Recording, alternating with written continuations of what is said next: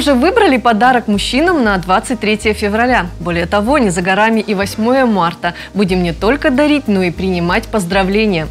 Как угадать правильный подарок и не ошибиться с выбором? Вы хотите поговорить об этом? Тогда оставайтесь с нами в эфире ближайшие полчаса. С вами проведу я, Оксана Мельничук. Здравствуйте! Ох уж эти праздники, все хорошо, но как выбрать подарки для своих близких? Это всегда серьезная головная боль, потому что очень хочется угодить, так сказать, попасть точно в цель. А на самом деле, возможно ли такое? Как выбрать правильный подарок? Об этом поговорим с психологом Мариной Гуровой. Марина, здравствуйте! Здравствуйте, Оксана. Очень приятно вас видеть. И в преддверии таких праздников, конечно же, хочется поздравить всех мужчин с наступающим. Итак, подарок с точки зрения психологии может нести какой-то тонкий смысл или там подтексты, или этому вообще не стоит придавать такого значения? А, конечно, подарок – это один из способов коммуникации, да, который несет в себе послание, мотив, какое-то отношение. И в каждом подарке а, определено какое-то смысловое значение. Вот, например, какие могут быть подтексты, да? Есть подарок, э, подкуп. Э, в чем здесь смысл, да? Переманить человека на свою сторону, да, заинтересовать в какие-то свои процессы. Есть подарок э, откуп, например, искупить вину, да? Муж э, загулял, не пришел домой, и на следующий день, да, там подарки, какие-то подношения, э, искупает вину тем самым. Есть подарок прикуп, да, это ожидание подарка в ответ, но с наиболее какой-то большей выгодой, который был подарен. И есть условно здоровая функция подарка, бескорыстная, да, для того, чтобы порадовать, доставить какое-то удовольствие, подчеркнуть ценность, а, значимость человека для нас, проявить таким способом внимание э, и заботу. Угу. Мариночка, когда я готовилась к эфиру, нашла очень интересную классификацию, ну, если можно так сказать, подарочного ритуала. Вот давайте обсудим. А вот Первое. Я не могу его принять. Вот в некоторых странах, например, э, дорогие подарки люди даже не принимают. Это чувство, ну, у них возникает чувство обязанности. Вот как относиться к дорогим подаркам? Ну, опять же, здесь может быть у каждого ведь своя цена, правильно? А, здесь можно рассмотреть с разных сторон. Да? Например, если подарок дорогой, да, то люди боятся как бы не расплатиться за него ответным каким-то подарком или услугой. Также подарок может вызывать чувство а, какого-то морального или эмоционального долга.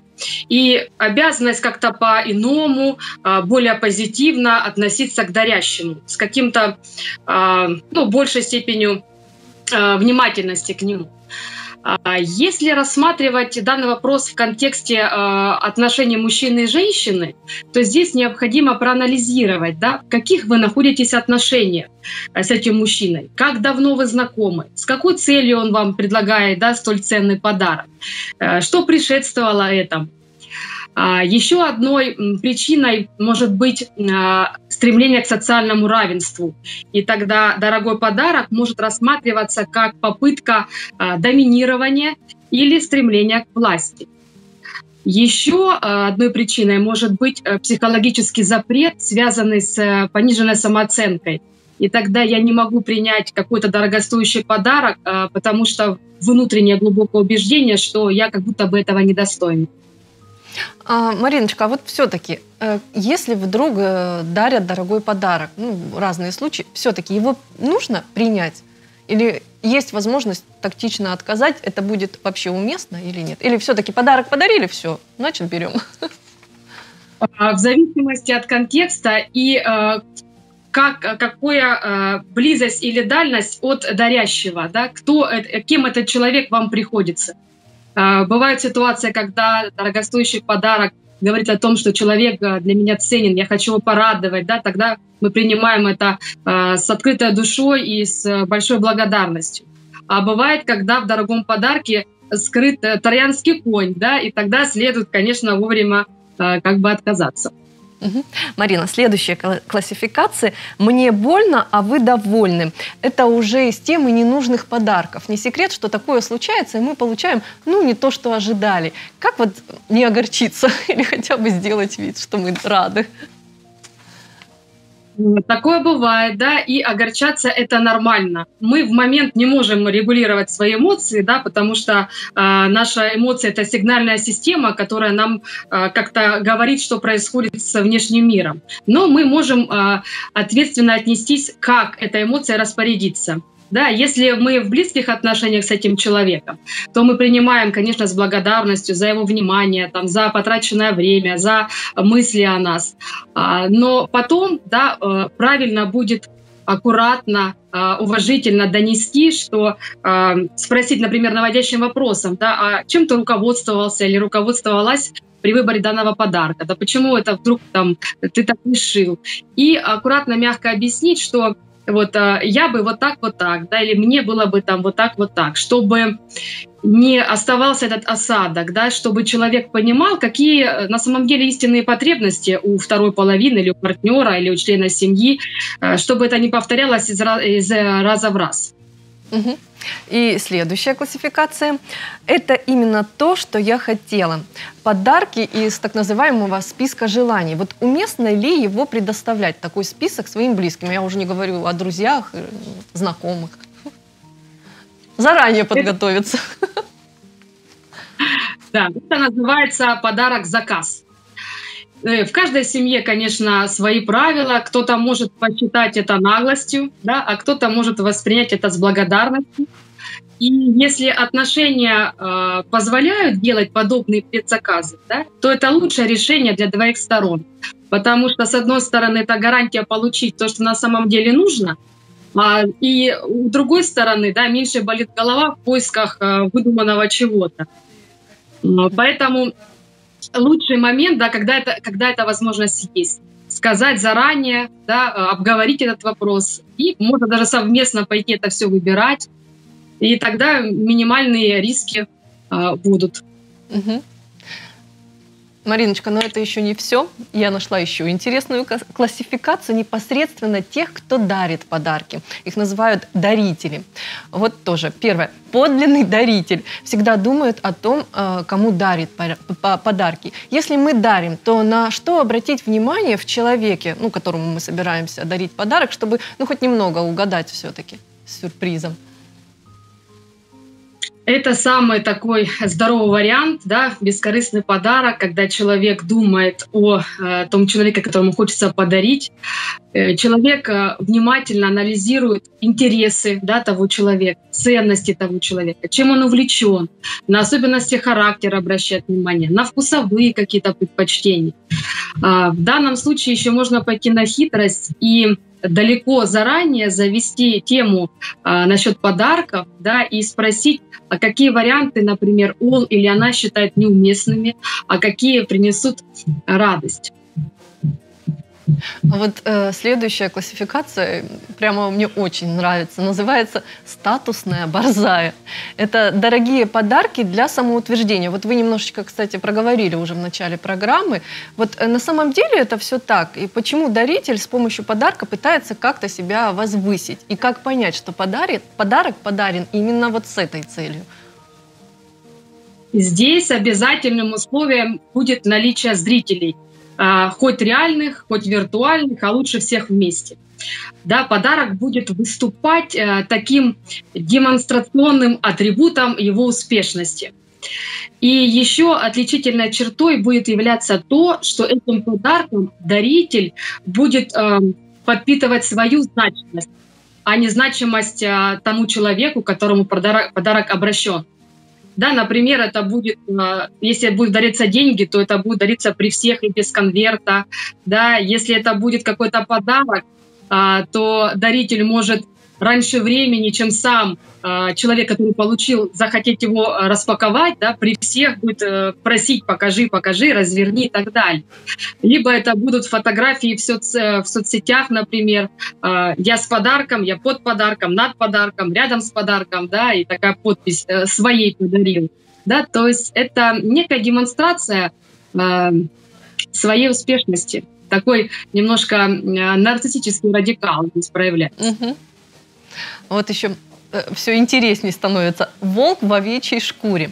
А, это красивая обертка подарка, а внутри могут быть даже передаренные вещи. Вот здесь я немного запуталась. Получается, вроде бы все так красиво, напускает пыль в глаза. На самом деле абсолютно неискренний такой подарок. Вопрос в чем? Почему некоторые относятся к процессу дарения вот так небрежно?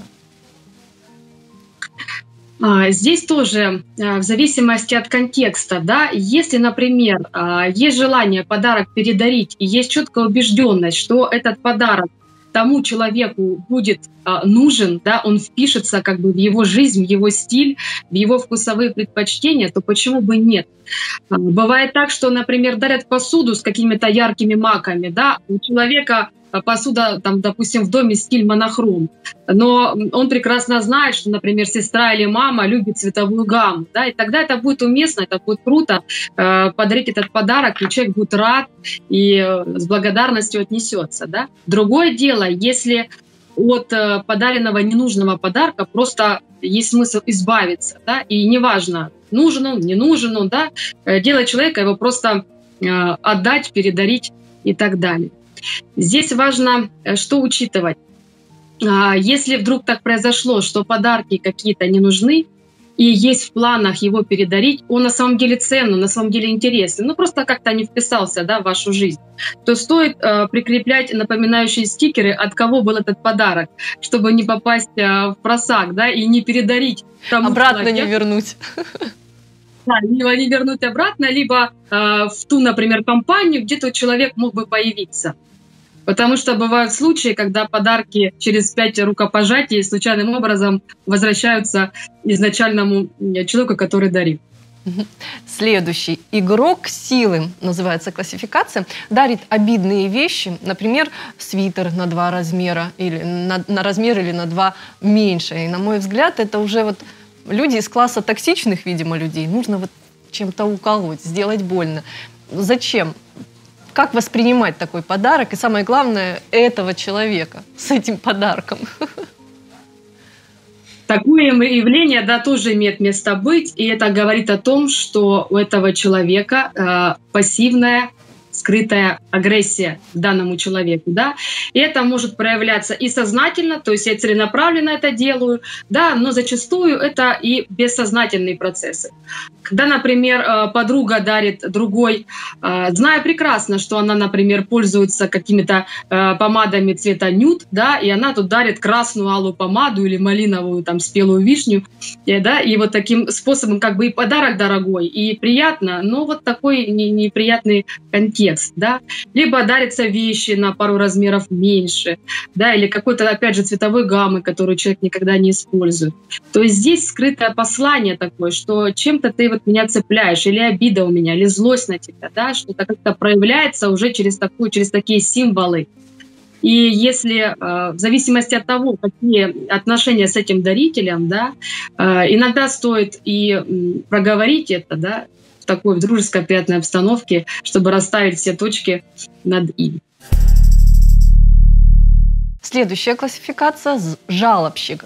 Э, говорит, как ему трудно финансово. Подарил и тут же начинает капризничать, рассказывать, как ему тяжело даются деньги. Зачем он так делает? В чем подвох?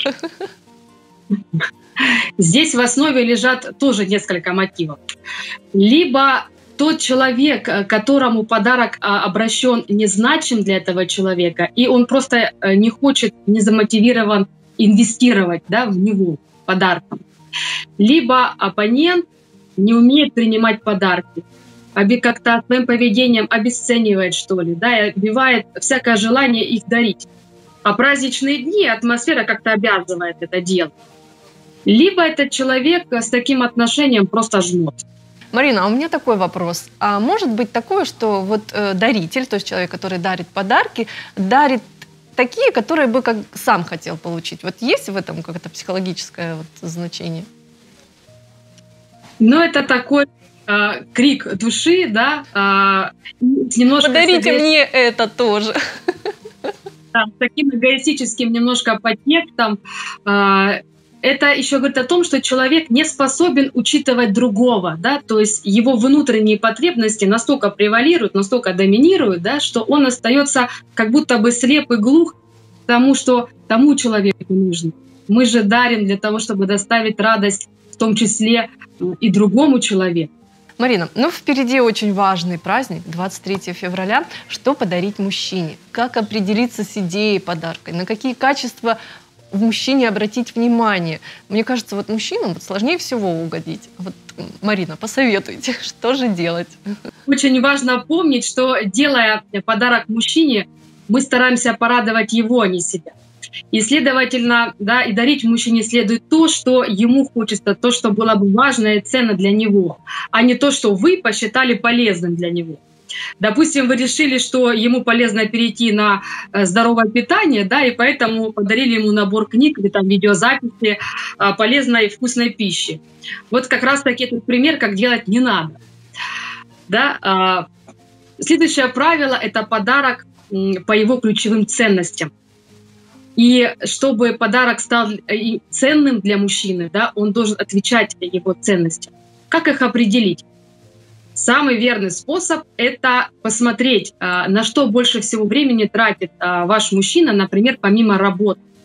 Да? Важно понимать, что мужчины любят практические подарки, которые можно применить в жизни.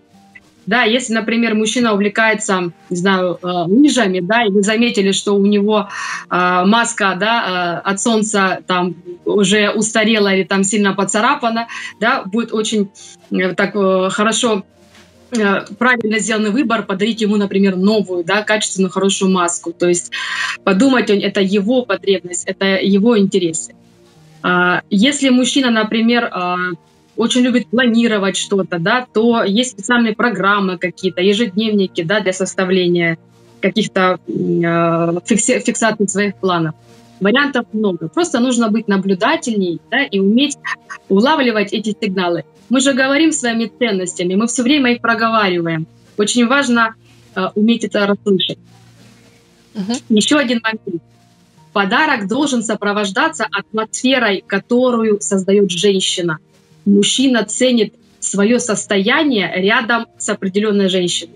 Ну, а это что значит? И женщина, женщина должна своим настроением, эмоциональным фоном дать понять, да, как мужчина для нее важен, как он для нее ценен, а, как она рада ему, да, и как она этим подчеркивает его значимость и нужность в своей жизни.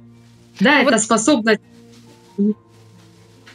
но эту эмоцию, вот как ее ну, создать, когда мы просто дарим подарок? Что нужно? Как сэмоционировать, чтобы вот мужчина понял нашу привязанность к нему, наше отношение к нему? Это радость, да, это открытость, это улыбка, это смотреть в глаза, это э, такой взгляд его скользящий, изучающий.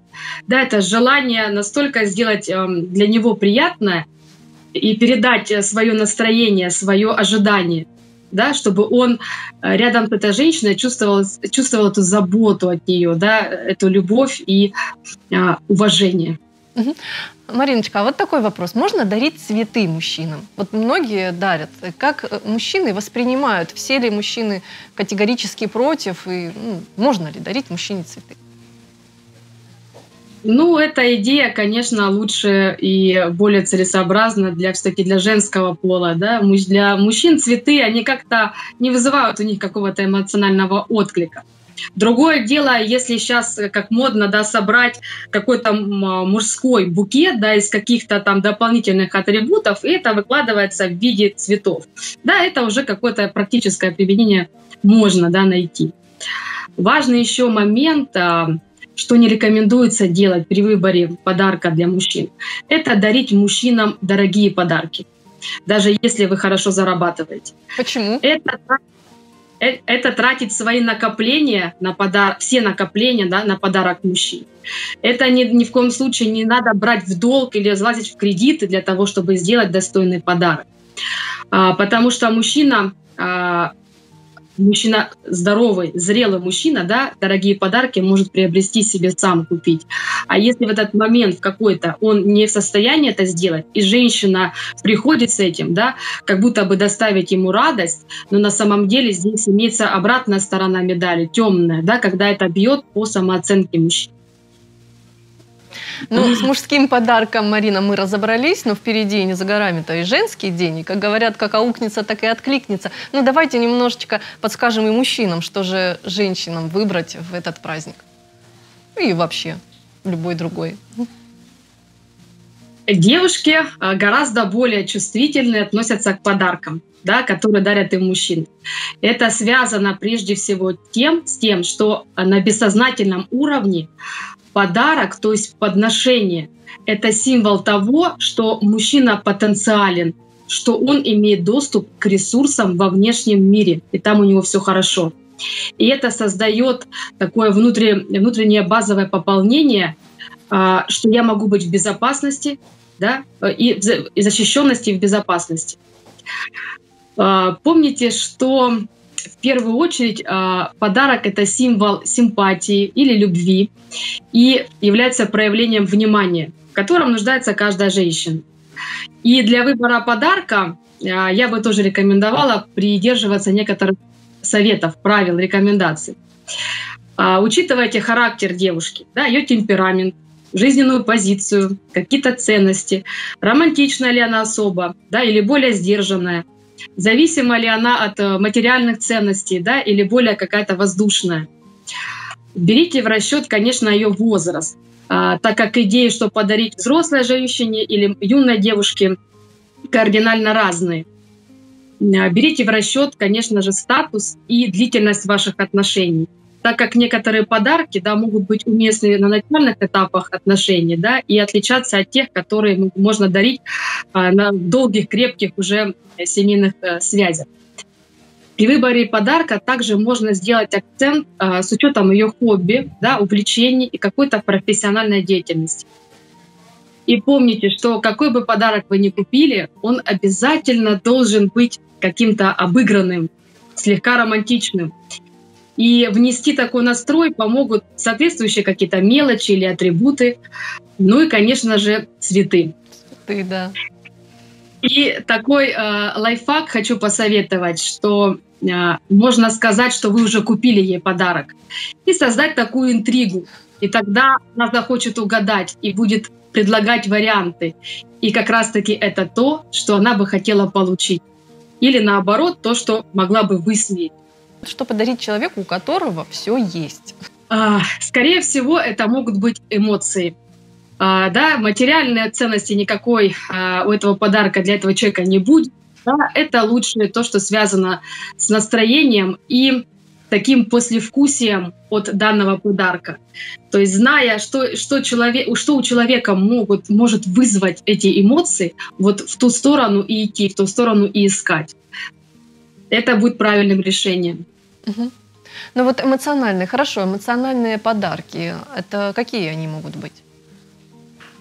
Например, это совместная прыжок с парашюта, да, и тогда это могут быть тогда таком адреналине, э, а, еще и какие-то скрепления чувств еще больше, да, происходит сцепка. Либо это прохождение какого-нибудь квеста, например, вместе. Да? Или это какой-то внезапный, не знаю, вне праздника сюрприз, э, что-то такое интересное придумать дома, когда человек приходит, да, э, там, э, с работы или приезжает там, с командировки. То есть это то, что вызовет у него какой-то эмоциональный отклик. И то, что запомнится, и то, что будет греть. Угу. Марина, а есть подарки, которые нарушают границы, чего точно не стоит дарить?